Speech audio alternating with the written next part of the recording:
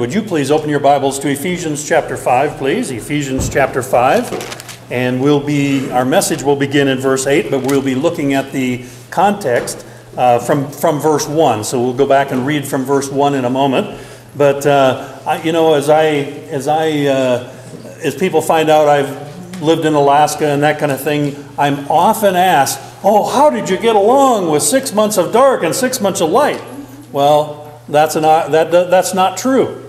That's not true. That's not even true as far north as you can go. It's not six months and six months. It's just like our days. Our days change and go back and forth, but, but uh, uh, you know, we, we know lengthening days and shortening of days.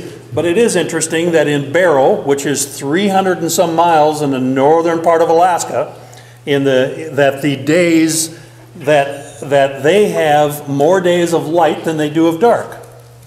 They have about 80 days where it's light, the sun never sets, and only 67 days where the sun is, is uh, they never see the sun. Uh, you say, big deal. I w- I couldn't handle that darkness, right? And uh, that's, that's kind of where I'm looking at here this idea of, of daylight and, and dark, or light and dark, because uh, this idea of darkness usually has some connotations to it.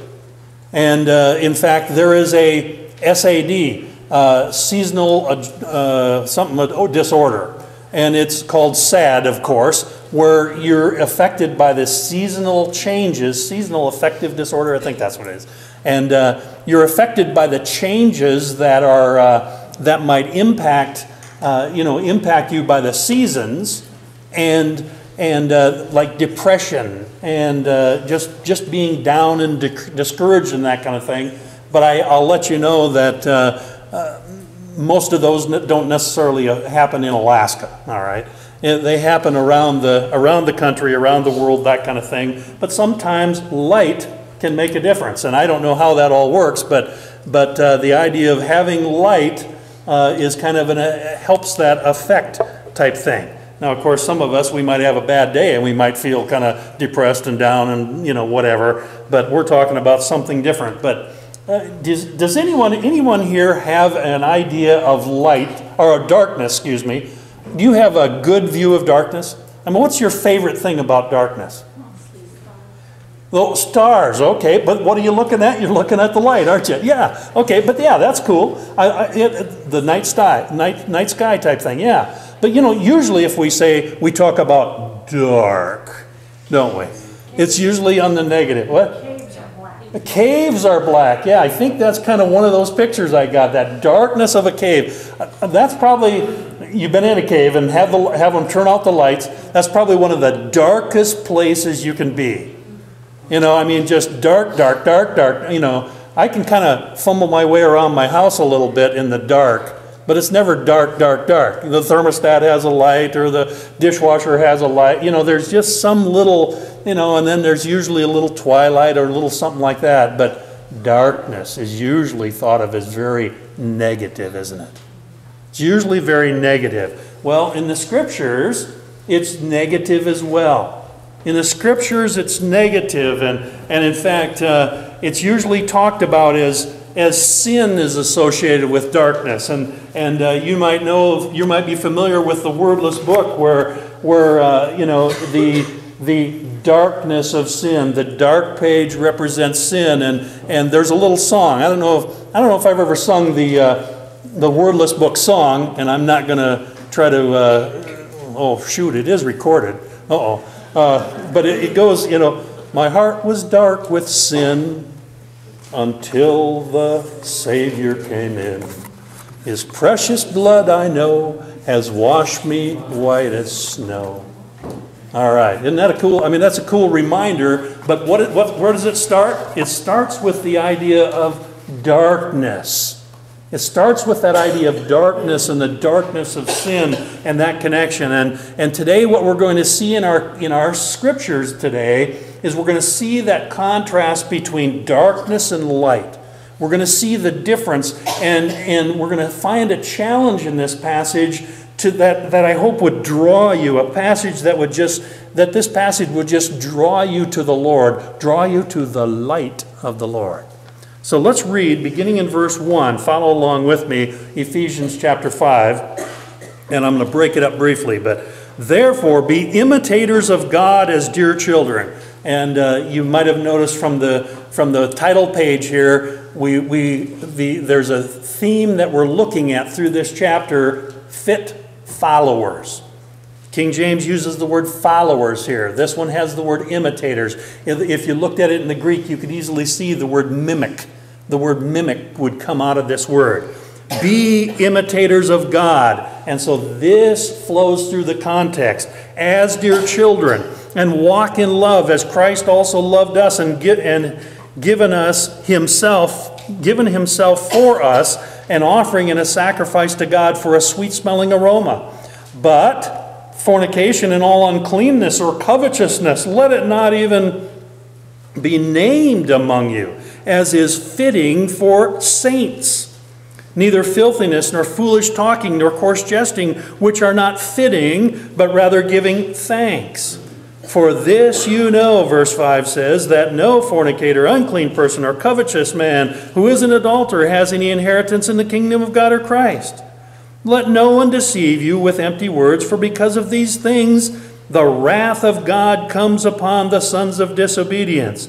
Therefore, do not be partakers with them. That's the plea that Paul is saying. You want to be a follower of God? Don't follow, be a follower of God. Don't follow the world around you and the, those that are destined to God's wrath. Don't follow that. Be a follower of God, be an imitator of God.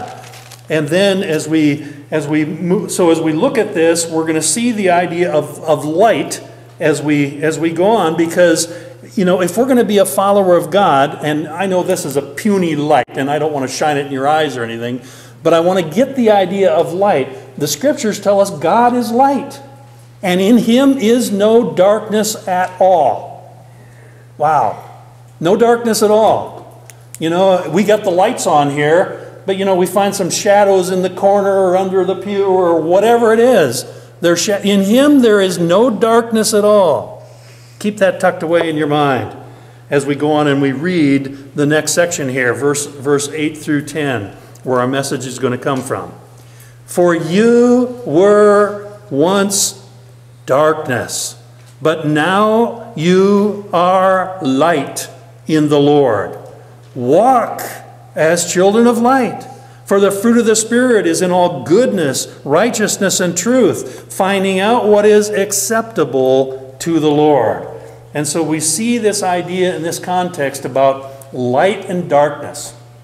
It's just a simple, simple idea, but of, of light and darkness, but God is the light, and, and those without God have no light. They are dark. And we're going to see this contrast but what I want to what I want to bring out to you as a whole is I want to bring out the command that we have in, in verse 8. There is this one command that says, walk in the light.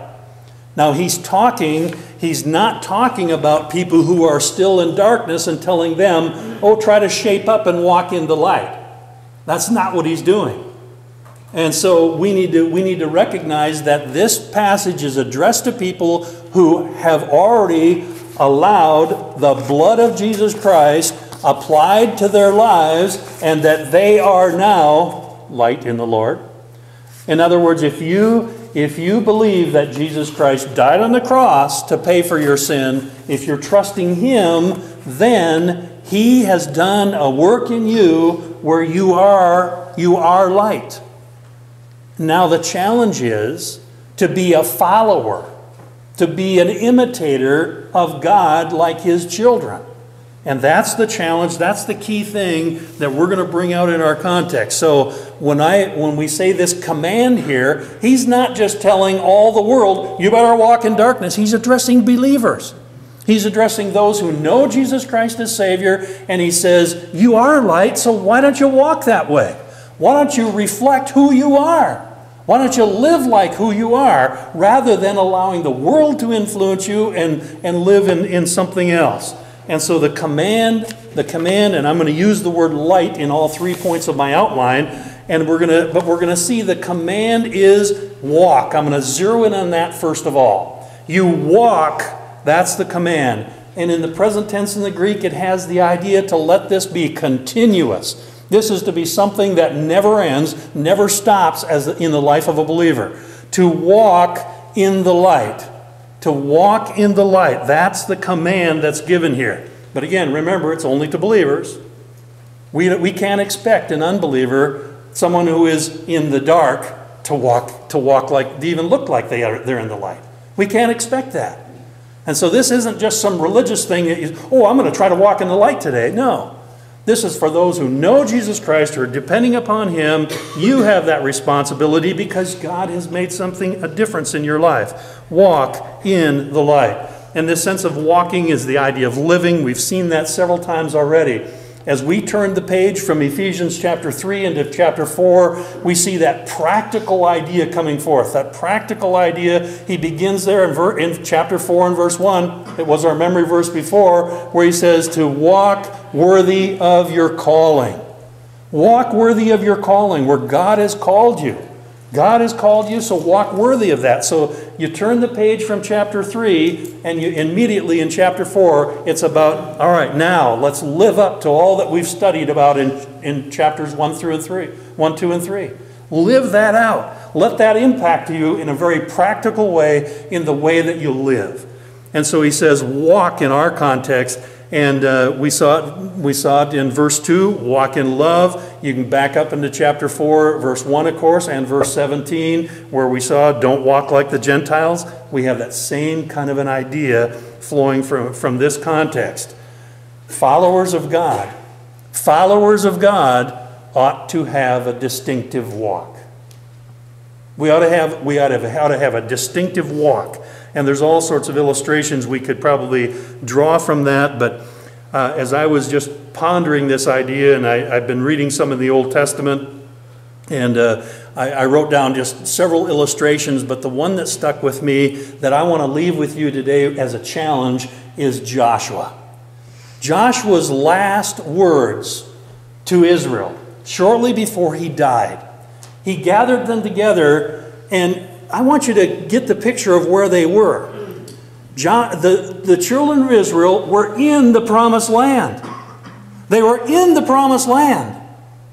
They had conquered enough to where everybody had some inheritance. I, can you imagine them? I, I imagine them on kind of a high. Man, the, the people had just melted away before them because they'd done so, you know, God had given them great victories. They were on a high. And Joshua comes up, and Joshua's last words are Choose you this day whom you will serve. Why does he do that? Can't you imagine them saying, We're okay, Joshua. God just gave us the land. We're okay. How many Christians, and I've heard that exact phrase, where they've said, Oh, I'm okay because I have forgiveness in Christ. I know I'm a Christian. But let me challenge you that just being okay doesn't mean you're a follower of God. It doesn't mean you're a follower of God. He's going deeper. And we, we mentioned this as we began chapter 5. Maybe a little bit of a difference from chapter 4 to chapter 5, where, where, was, where we have this relational type thing. This is more relational, where he's, where he's challenging them to walk, imitate, and walk in this way, to walk in the light. And so I want to I want to challenge you with this, this comment here that he makes, this command, to allow yourself to, and maybe examine yourself. And you say, wow, am I really walking in the light? Or do I just kind of shrug and say, oh, I'm okay? Allow the Word of God to grip you. And this, you know, to walk in the light takes total dependence upon Him. To walk in the light, there aren't going to be any shadowy corners. It takes some self examination. But it takes total dependence upon Him. Even for eyes to see as well as power to perform. It takes a total dependence upon Him. And we'll see another verse as we go on. So let me challenge you if you get nothing today, choose you this day. Don't wait till tomorrow. Choose you this day. So that's the command, and it's based on the fact that we were. We were. Let me go back and read the verse here, verse 8. For you were once darkness, but now you are light in the Lord. And so the sense is so walk as children of light. And that was the command, but it's based on the fact of the reminder that you who you were. You were dark. You were dark. And it's not that just that you were in the dark, or for you Star Wars fans, on the dark side. Okay, I should have been got my Darth Vader voice on, right? dark side. Anyway, anyway, you know, it's, it's not that. Notice it's not that. It is that you were dark. Our world today does not believe in the depravity of man. Our world is our world if you listen very long to anything anywhere that the world comes up with, and they will, in a sense, say there's some light or some good in everyone. That's not Scripture. The Scripture says we're all dark. We were dark. You know, we don't have too many. We, if, if we could somehow shut all these lights off, I know we can't, you know. We can't, but we'd never get going again, you know, by the time some of these. But you can imagine it. Imagine the cave like darkness. And he says, You were dark. God often does this. He brings us back to where we were so that we see the glory of the light, the glory of His grace. And here He does it again. He brings us back to dark, dark, dark. In this context, in the context that we find ourselves here, it would be the, peop- the things and the people that are listed in verses 3 to 5. Fornication and fornication and fornicators are dark. Uncleanness and unclean ones are dark. Covetousness and covetous people are dark. Foolishness and foolish talk, or, or filthiness and foolish talk, crude humor, they're dark, dark, dark. Not this yet but the dark, the darkness of the dark heart. The dark we saw in the previous verses are headed to wrath. But the saints aren't. Saints are headed to, to God's glory. We've been rescued from the wrath to come. If we compare Ephesians chapter 2, let's just take a quick peek back there. I think he probably has this even in mind. Ephesians chapter 2. And just notice how he, how he says this. And by the way, if you have he made alive in verse 2, that's not in, uh, or verse 1, I mean, that's not in the Greek at all, in any Greek text. But he says, so I'm going to skip it. It's italics. And you who were, oh, were, were, were, just like we had.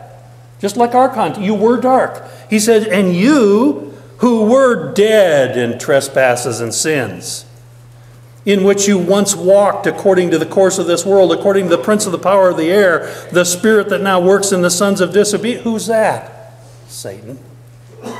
You were gripped by Satan. How bad? Among whom we all conducted ourselves in the lust of the flesh. Ooh.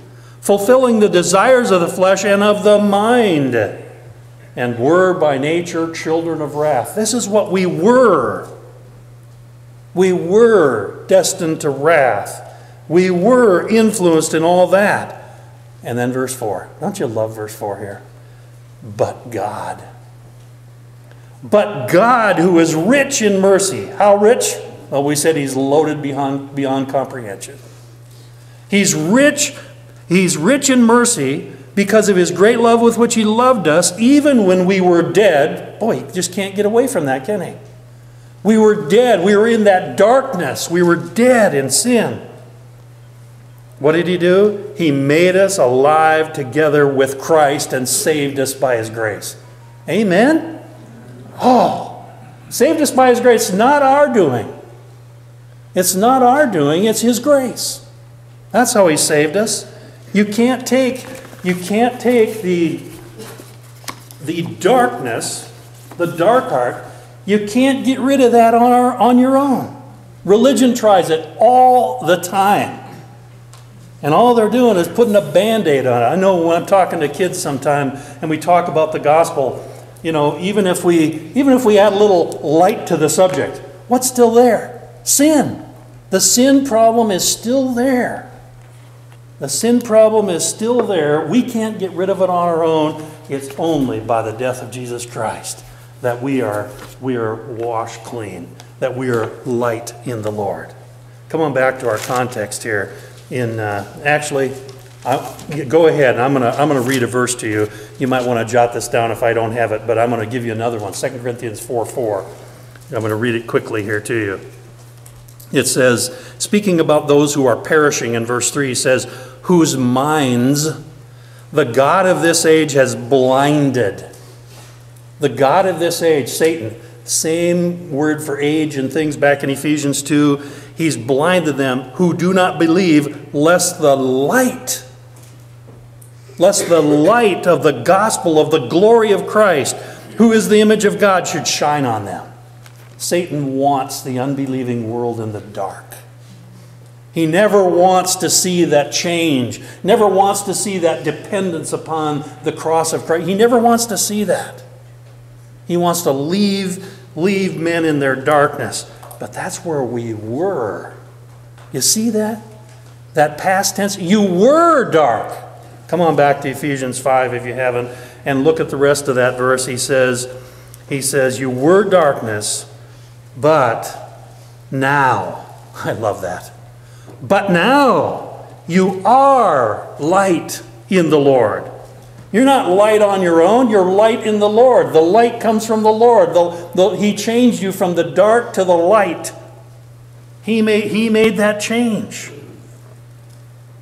But now, man, and you stop and think of it in just so many other terms. You know, we were dead, but now we're alive. We were dark, but now we're light. You were out in a sense. Ephesians 2:11 has this but now idea. You were out, but now you're in. And uh, over and over we could say you were you were believing the lie, but now you believe the truth. You were blinded, but now you're seeing the gospel. You were in sin, but now you're forgiven. You were sinners, and now you're saints. And we could just go on and on and on because we have a new identity in Christ. And that identity is absolute, irrevocable, unchangeable, and eternally in Him. It's eternal in Him. So, you were dark, you're now light. What's the command? Live like it. Walk continuously, forever. Walk like who you are. Let your life be light like. Let your life be light like. And in case you don't know what that's like, verse 9 tells us. He says, For the fruit of the Spirit, or some of you have the fruit of light. I'm not going to argue about the, there's a difference in the Greek text, some Greek text. I'm not even going to argue with that. But the point is, is that to live light like, to have the light type emphasis that we have in this context, of righteousness, good, goodness, righteousness, and truth, to have those things, the Spirit has to enable those anyway. The Spirit has to empower, empower those things. He has to empower anything worthwhile in our lives. And he says the fruit of the light, or the fruit of the Spirit. Scripture always uses that idea of fruit, doesn't it? It uses it many, many places just in Jesus used parables of the wheat and the tares and, and the fig trees and the olive trees, and you have this all through the scripture that idea of fruit, fruit coming from the tree and that kind of a thing. And uh, last year when we were in Ephesus, uh, one of the first things I noticed, I, I, asked the, we were driving to the motel, and I, are those olive trees? Yeah. Those were all olive trees. All over the place, there were olive trees. There were olive trees that were groomed and taken care of, and then there were neglected ones, and we walked on their fruit on the sidewalk. But I sure liked those, uh, that buffet table that had uh, olives that I could have all, all my fill of olives. I like olives, so you know. I mean, there were there were dark ones and green ones, and there were. I mean, there was there were I don't know how many olives. Even for breakfast, I'd never had olives for breakfast before. But there were all, you know, what is, it's the fruit of the tree. What, is what are we saying here? The fruit of the tree. And he says this fruit is identified. Notice what he's not doing. He's not naming the fruit. You know that? Notice that? It's in all. It's in this realm. It's in this sphere. It's in this connection. This fruit, no matter what kind of fruit, no matter what it looks like, no matter if it looks like an olive or an apple, I mean, we're talking about fruit in our lives. He says it's in this realm of all goodness, righteousness, and truth. He's identifying characteristics of this fruit. Uh, you know, and, and uh, there might be something in your life where God is using you, God is working through you, and you might not find an exact verse to say that, well, you're not going to find an exact verse for what what a couple of our guys are doing right now with computers and, and uh, running the PowerPoint and that kind you're not going to find that in the Scripture. Thou shalt run the PowerPoint, you know. First of all, they wouldn't have a thou in front of it, right? You know, and, uh, you know, in the modern day. I mean, you're not going to find that. But what is it? It has, it has the fruit of goodness. It has the fruit of righteousness. It has the fruit of truth. In other words, it, it's in this, in this auspices of these things. It's good, not bad. It's, it's good always. Just like the, there is no darkness in him at all, when you, when you get the fruit, it's always in the light. It's good fruit, it's not bad, it's always there. It's not just being good, it's God working in us. And righteousness, it's not, it's right, it's not wrong ever. It's not man's standard, it's God's standard. Because God is producing it. It's truth, it's not false ever. And it's truth before man, and it's truth before God. It's true because it aligns with the Word of God. As we walk in the light, the fruit of that walk will be light like. And you could say, yeah, now we're not going to see some glowing thing, you know. We're not going to see something glow. But in a, in a sense, maybe we should see goodness kind of glow out of us. We should see righteousness glow out of us. We should see truth glow out of us. Light like.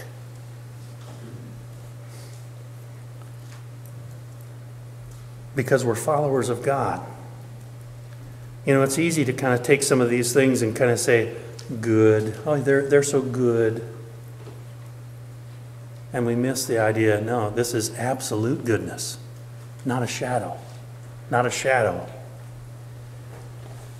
And like the fruit of the Spirit, it's not human produced, it's God produced, it's Spirit produced working in us. That's the measure of what it means to imitate God. This is how we tell if we're imitating God, if we're following God.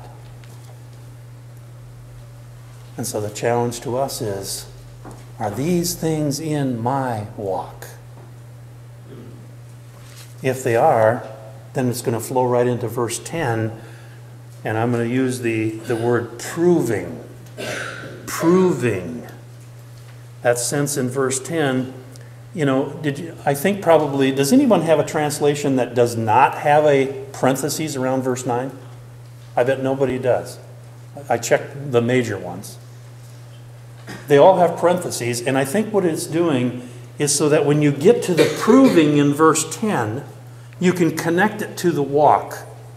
He left us off in verse 8. He said, Walk as children, walk in the light, proving now, we know that the standard is in verse 9 righteousness and, and goodness, righteousness, and truth. So we, we have that standard, but he puts that in the middle in parentheses to give us the idea that our walk is to demonstrate, our walk is to prove, it's to, it's to pass the test. Our walk pass, passes the test. This word for proving here, uh, you see, I got some pictures of mine, miners or mines there. The word, it, it, this is a word used for assaying metals. You know, you, you get the metal and you determine you, de you determine whether it's got gold or silver or both or, or some other minerals in that. You know, the old, you remember the old movies where the uh, prospector, we'd bite down on a nugget, right? Yeah. You know, if I bite down on my ring right now, I'd probably break a tooth because it's not pure gold. It's not pure gold. The old, the old uh, miners, they'd take a little, in a little, uh, oh yeah, they could dent that gold coin or that gold nugget and they knew it was real. They knew it was real instead of pyrite or whatever, you know. And uh, then they would sell their mines, you know, they'd say, yeah, I got, I got high grade stuff here. You know, maybe they, but, you know, assaying is more of a science.